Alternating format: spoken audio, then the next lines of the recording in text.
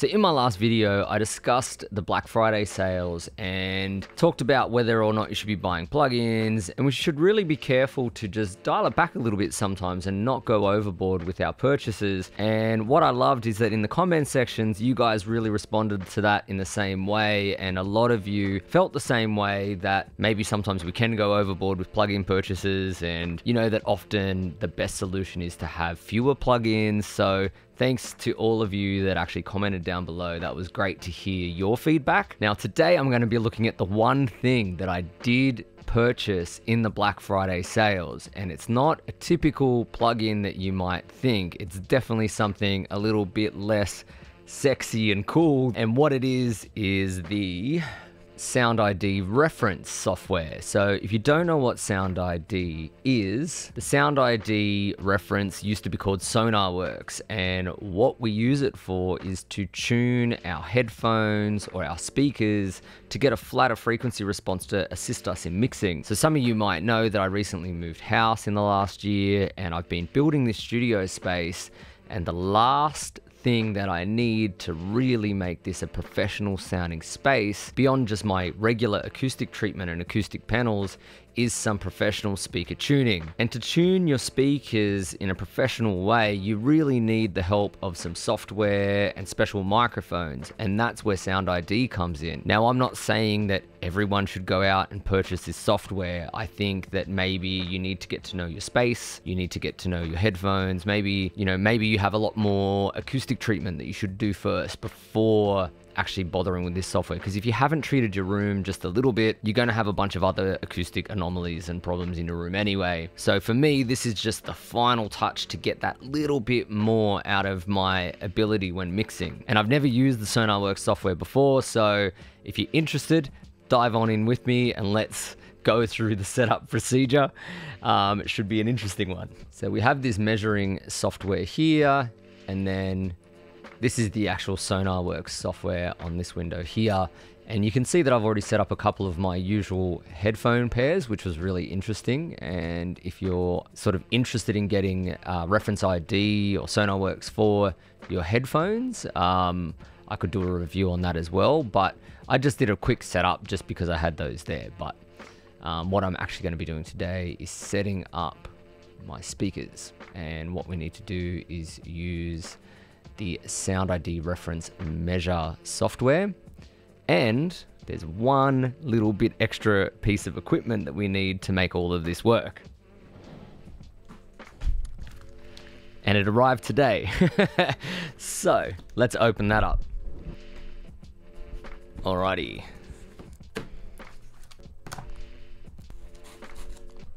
Here we go.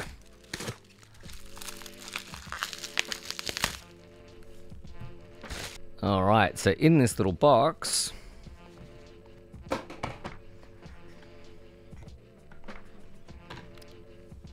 we have ooh, some stickers. Always like stickers. They'll go on the laptop.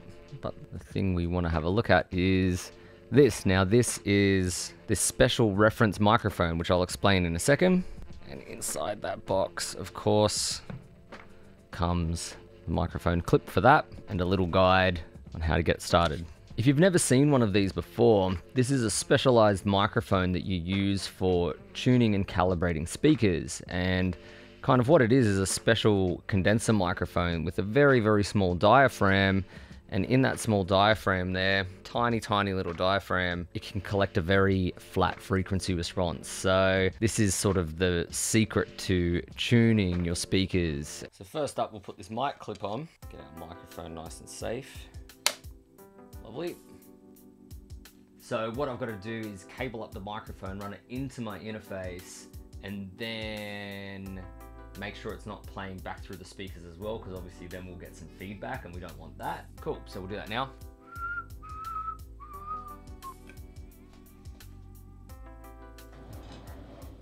So I've just got to get phantom power to this microphone here.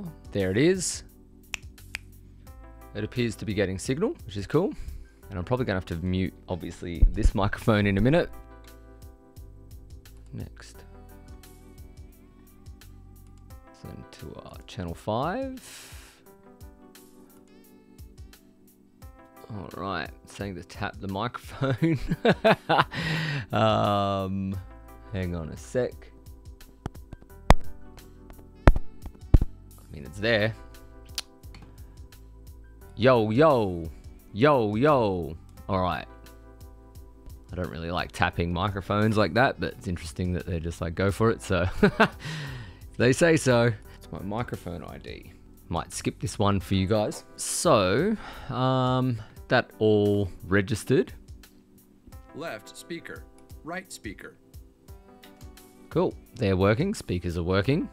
Please adjust the volume of your output device. My voice should sound at normal conversation volume. Left speaker, right speaker. All right. Clear out anything you could bump into within your listening area. Beautiful. Um, all right, what I'm going to do is mute this mic. And then I guess you're hearing me through the reference mic. That's interesting. It'll be interesting to hear how that sounds because this is now off. Um, cool. So I'm just adjusting this to kind of be where my ears would be, the center of the speakers, right there.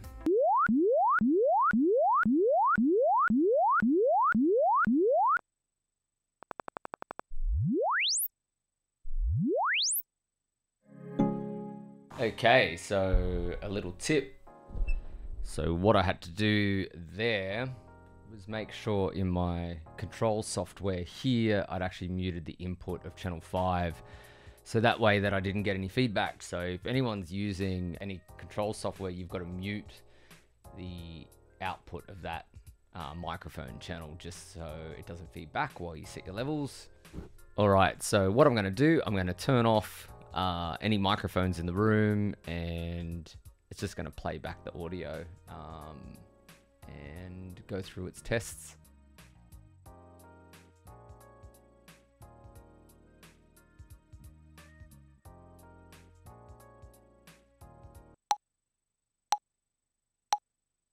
Stay where you are. Measurements in progress.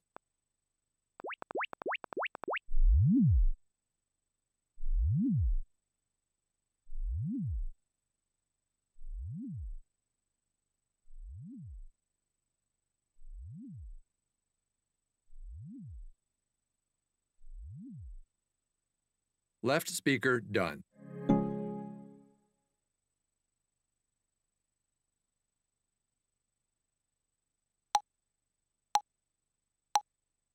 Stay where you are. Measurements in progress.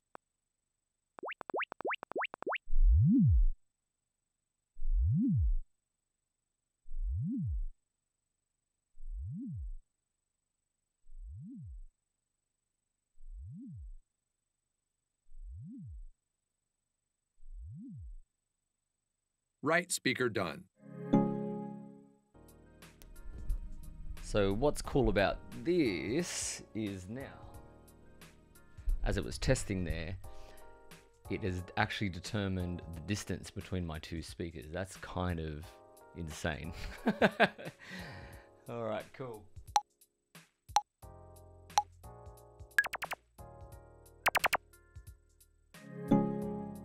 So now it's calibrated the listening spot versus the speaker location. Now I'm gonna have to do a whole bunch of other interesting placements around the room and I think it's gonna tune the frequency response of the whole room. So this is gonna be interesting.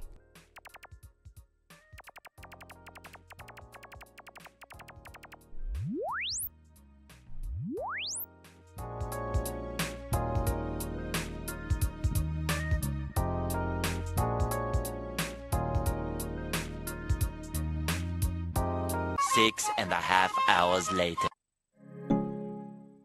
So that took a little while. Um, there was a lot of points of measurement that the software had to do with the microphone. It wasn't difficult or anything. Um, it was just constantly fidgeting around with the microphone and getting things in the right spot. But really, it's kind of pretty easy and self explanatory. The only trick I had was that thing where I forgot to mute my microphone's output so it wasn't feeding back through the speakers. So just that's one to remember. it seems obvious, but you know, sometimes we trick ourselves. Anyway, um, what's interesting is now I've got a pretty cool measurement of the nodes and the frequency response of my room. So what I can see here is that I've got a peak in my room at about 50 hertz and then quite a significant dip at 80 hertz and then another rise around 100 and then the octaves here. So 140, 120, 250, and then the 400 mark almost there. And so what we can see is that the low frequency response of the room is quite similar in both speakers. And then there's some difference in the high frequencies. That could be because of the desk, could be all kinds of things. But what's interesting is at least in both the left and right, I don't have anything too odd. There is some slight differences, but nothing crazy. Yeah, pretty cool. And then it's put a slight delay here of 0.1 milliseconds there on the left side. So that's interesting as well. Um, and then a level difference. So what it's saying here is that my right speaker is 0.8 dB louder. And what's interesting to me with that is I thought that my right speaker actually was a little bit louder and I've tried fiddling around with the adjustments on both of those speakers, but I couldn't get them balanced. Um, and this is going to correct for that. I really like that picked up on that. So yeah, I was pretty sure my right speaker was slightly louder than the left. Um, so that's really interesting. And it's actually picked up some things that I thought I was hearing. Cool. And so all I've got to do is load this profile here, which I just did. There's my speaker profile. And now the calibration is on. All right. And what I'm going to do, I'm going to play some music and I'm going to have a listen to how it's actually sounding in the room. Uh, this is going to be cool. So maybe I can actually hear things a little bit more balanced.